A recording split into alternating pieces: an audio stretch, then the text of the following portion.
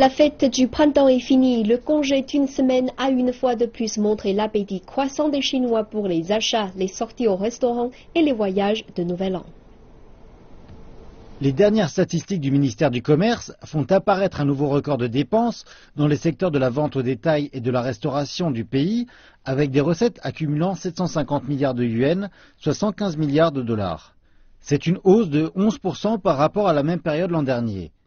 La plupart des dépenses de vacances s'est portée sur l'alimentation, le tabac et l'alcool. La bijouterie et les équipements numériques ont aussi été des articles populaires pendant les vacances. Les données montrent aussi que les ventes au box-office dans les cinémas, pendant les trois premiers jours de Nouvel en chinois, ont bondi de 80% par rapport à l'an dernier, à 1,7 milliard de yuan. C'est presque égal au total de la totalité du congé d'une semaine de l'an dernier. Le tourisme est devenu une option populaire pour les Chinois riches. À l'intérieur, les activités traditionnelles de la fête, les sources thermales et les sports d'hiver ont grandement bénéficié des sorties des gens.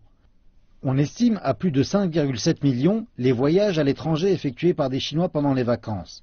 Les trois destinations les plus populaires étaient la Thaïlande, le Japon et la Corée du Sud.